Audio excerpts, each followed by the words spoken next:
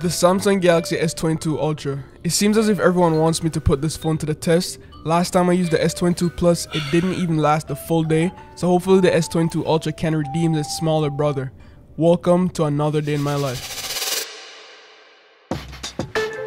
Today I woke up at 8:35 a.m. My mornings usually consist of me just catching up and preparing myself for the day. I like to check my emails and things that I missed overnight. I think I might have a long day ahead of me because for one, I have to hit the gym, have a couple of morning meetings, content to film, grocery shopping, and I need to link up with my friend Ty. So yes, the S22 Ultra has a lot to go through today. For breakfast, I had the eggs, the bacons, and just look at that beauty so scrumptious. Now, while eating breakfast, I just went onto Twitter, Instagram, and also TikTok, you know, just to see how we're doing, how much we're thriving, and just to my surprise, one of my phone war series on TikTok caught a lot of heat. Just finished eating breakfast. It's currently 9:48, 9:49 a.m. right now. We have 94% battery life, and one of my videos blew up on TikTok. It has over 870k views and basically iPhone users can't accept the fact that the S22 Ultra has better zoom. So now they're saying that the iPhone has better zoom transitions. Basically like when you zoom in and zoom out, it's smoother on the iPhone. Anyways, now it's time to head out to the gym. Let's go. So this morning I got to the gym kind of late at around 20 minutes after 10. I wasn't the most energized though, probably because I only got 5 hours of sleep, which is not good. The Galaxy Watch 4 did came in clutch, tracked things like my calories burned while sleeping and also my ECG levels. Surprisingly, the Samsung Health app shows you amount of time you snored. Thankfully, I didn't snore last night. My future wife should be proud.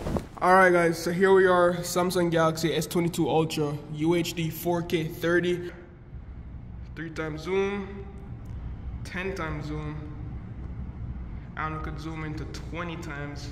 Insane. So if we go all the way back down here, look how far that was. Also, of course, with the S22 Ultra, we could switch while recording. So right now, I'm on the front-facing camera. I could just switch the camera, and I'm still recording. I could even pause the video. What do you guys think about the S22 camera? Also have autofocus, so I could like that blurred background on the front facing camera pretty insane. Listening to music at the gym is a must. So I have my Bluetooth turned on and also data running in the background so I could stream music from Spotify. While working out, I had to hit my traditional day in the life tweet to keep you guys in the loop. So if you made it to this tweet, just know you're goaded. One thing to note though is that the S22 Ultra is not a small device. So if you're working out at the gym and like to keep your devices in your pockets, it's going to stick out like a sore thumb. Enough of me talking. Now it's time to go up and I have to join a meeting. So let's go. My meeting with Doug lasted for about 30 minutes. Yes, it did take a little hit on the battery life, but I didn't have enough time to set up my PC and webcam and all of that, so I just hopped on the S22 Ultra. Appreciate it, Doug. Take care. After that, I was about to take a shower and realized Journal wanted to post my viral TikTok on their Snapchat discovery page, so I just gave them permission even though you know it's free promo or whatever but it's cool anyways. Whenever i'm taking a shower i love to play music in the background and i think the s22 ultra did a good job. It could have been louder in my opinion but when the shower was running at full blast i could still hear the lyrics i could still hear the sound. So yeah i think it's a pass. All right guys quick update. Just got out the shower. It's 12:51. we have 65% battery life left. There's a couple things I still need to do before we head out today. I have to film a TikTok and also like a YouTube video. So we have to do that real quick because time is against us. I also just got a text from Tyler for me to choose the um, headshot that I need for the podcast that's gonna go up soon. And apparently it's going up on Tuesday, so I just need to send him like a picture. I went into Google Photos and found a headshot that I thought looked cool. It's my current YouTube profile picture, so I hope it's good enough. I even think the podcast is up right now, so I'll leave a link to that down below in the description. So while I was editing on the S22 Ultra, I was using my thumbs a lot, you know, just editing like a regular person. Silly me, I forgot I had the S Pen tucked away. I've never been too big on using S Pens in the past, but let me tell you, it's a night and day difference. The S Pen made it easy to cut up clips, make adjustment to the timeline. Yes, I had to briefly use my fingers to zoom into the clip from time to time, but I found that it definitely sped up my editing process I guess that's one way so far that the S Pen could be really useful in my day-to-day -day life. There weren't any hiccups chopping up 4K videos from my iPhone or the S22 Ultra. The playback was smooth and exporting was pretty fast thanks to that Snapdragon 8 Gen 1 chipset inside. So if you want, you could go over to TikTok to check out the final results. Consuming media on the S22 Ultra is always a great experience. We have a 6.8 inch AMOLED display that is really vibrant and sharp thanks to the WQHD support. The screen is running at a very fluid 120Hz refresh rate and this is extremely noticeable when scrolling through social media, through email threads, or your Twitter feed.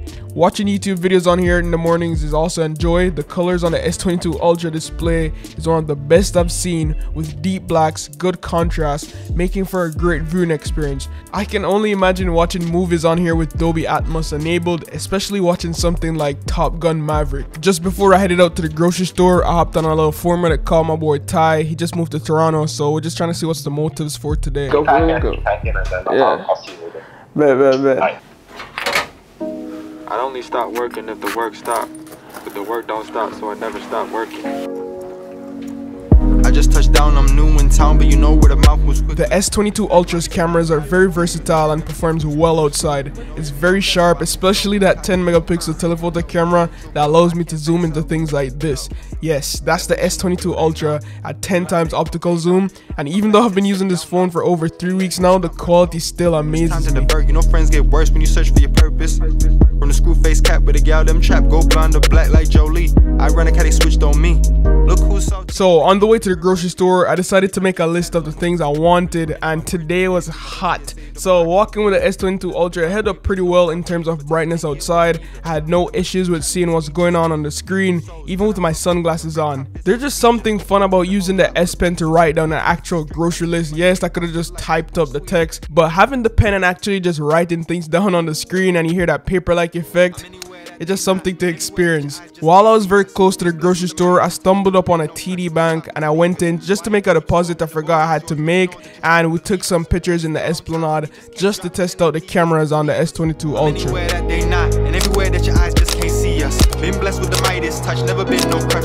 I kinda got carried away with taking pictures and ended up at this dog park.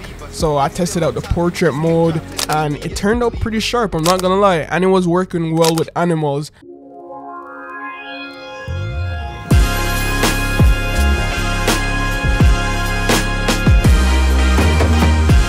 So it roughly took me around 15 to 20 minutes to get everything I needed, checked off my list with the S Pen of course, and I even used Samsung Pay at checkout and it worked flawlessly. So as I was walking outside the grocery store, I decided to call an Uber because of all the bags I had and hopped in the Uber. It came super quick surprisingly. I just replied to some DMs on my way home and by 5.35 p.m. I got the critical low battery warning and my S22 Ultra went into the power saving mode at 5% battery. I was a bit disappointed though because it died as soon as I got home. Alright, so it's currently 5.38 right now and S22 is dead. So I'm just gonna charge this up right now because I still have a couple things I need to do. So I'm using this charger from PowerArc. It's connected to a 65 watt brick and boom. Let's get some juice in the S22 Ultra. One thing I love about the S22 Ultras or just the Samsung Galaxy devices is that it tells you how many like hours or minutes are left until full charge. So this will be a pretty interesting test as well to see how long it takes to go from 0 to 100. Not sure if it will go to 100 by the time we're here, but yeah, leave that to charge. I'm starving.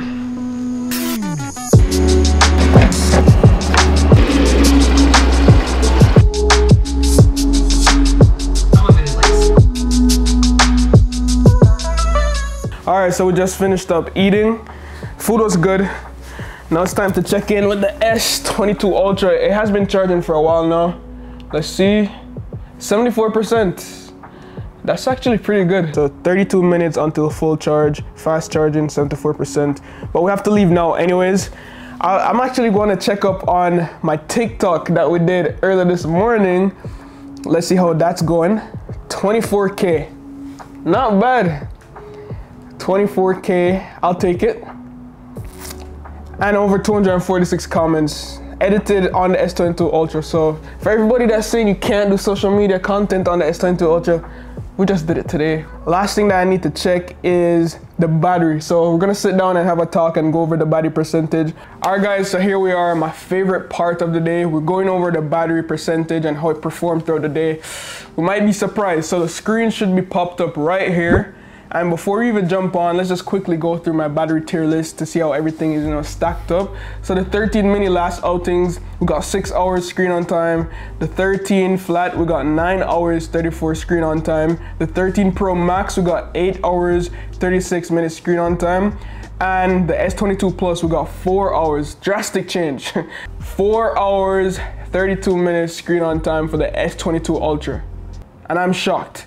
I was thinking that it's, a big chunky phone. I was expecting this to at least get me at least five hours, 30 minutes screen on time. But again, just so you guys know, yes, I know I could have charged the phone, but the purpose of this video is just to use the phone throughout the day with its basic settings, adaptive brightness, auto cellular data. If I get 5G, I get 5G. If I get LTE, I get LTE everything is just on auto mode because the phone has to like adapt to my usage. So I made sure I use the S22 Ultra for two weeks prior before making this video. So don't go in the comments talking about Shevon, you should use the, I did. I used it for two weeks and today was a very, you know, active day for TikTok. As you can see, we're on TikTok for 23 minutes, the camera for 27 minutes, and those were the major hitters when it came on to battery life. Let's also look at the last seven days when I wasn't doing a day in the life video so you guys can get gist of what the battery life is really like if I'm just using it on a regular day. So for example,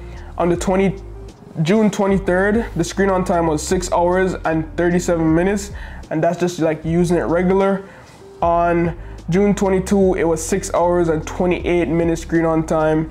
June 21st is 5 hours, 39 minutes. So you can see it's like roughly between 5 hours and 6 hours. But if you really want to use the phone and like, you know, do stuff, go out, you're taking pictures and filming, you could expect to only get around four hours and 30 minutes screen on time.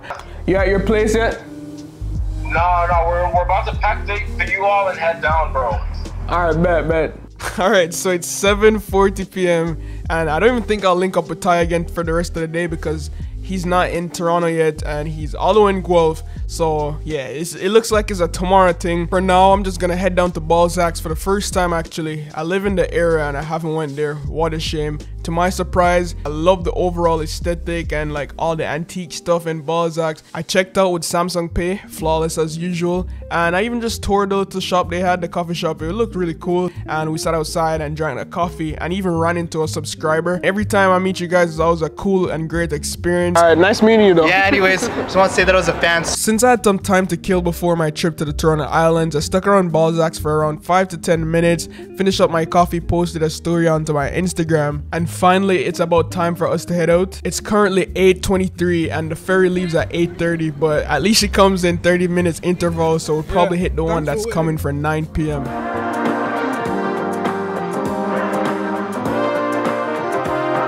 This is actually my first time going to the Toronto Islands and I'm not gonna lie, I'm pretty excited. This is the perfect time to even just put the S22 Ultra's camera to the test with that beautiful sunset and to see how that low light compatibility is with what Samsung likes to call nightography which is basically their computational photography for night mode.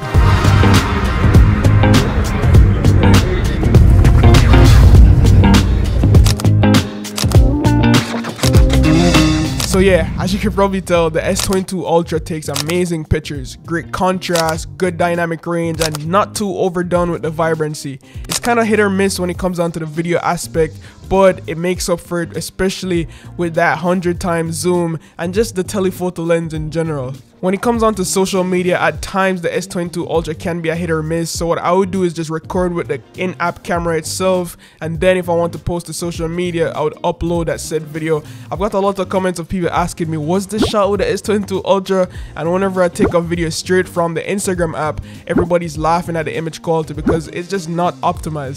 Center Island was also pretty fun, but I wish I got here a little earlier because all the food spots were near closed, and it's starting to get really dark out here, but at the same time, it's perfect to just take some night shots as well. We walked around for a couple minutes, you know, just exploring the island and even my Galaxy Watch 4 was prompting me to ask if I wanted to track my walk. Pretty handy that it does it in the background. Even though it's literally pitch black at 9:34 p.m., I still took some pictures and tried out the stabilization and this is at 4K 30 FPS without super steady on. To me, it did a really good job, especially in these circumstances. It's way darker than it looks in person, but the S22 Ultra manages to brighten up the scene just a little more and in exchange, there's a little grain to the footage. So as we were walking around, Ty finally called and said, Um, I'm just gonna come tomorrow morning. and he even had the audacity to say because um I, I planned the video around this You could just you could just act like it's the same day. like come on bro. We don't fake things around here. This is the real day in my life series. We keep it true to the core. So i decided to just visit him the next morning. So stay around for that clip at the end of the video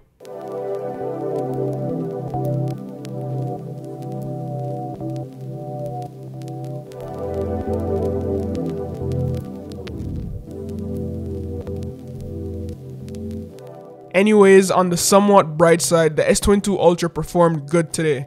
Aside from it dying around 8:38 p.m., this phone is still a beast. Powered throughout the day to the end, and it definitely has one of the most versatile cameras I've used to date. If you're not taking videos and pictures throughout the day, I'm sure you'd get 6 to 7 hours of screen on time easily.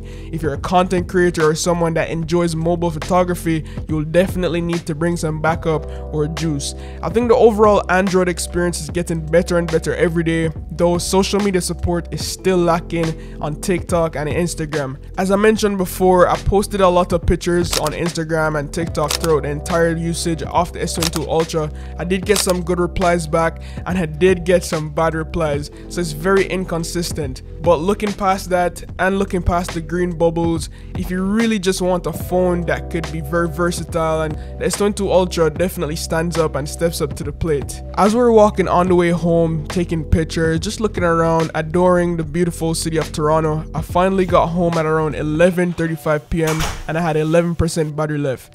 It's been a long day, but I still need to offload the footage and get ready to go to bed for another busy day tomorrow. Anyways, now I'll just put the S22 Ultra to charge and hopefully the next iteration will have a bigger and better battery life and more support for in-app experiences.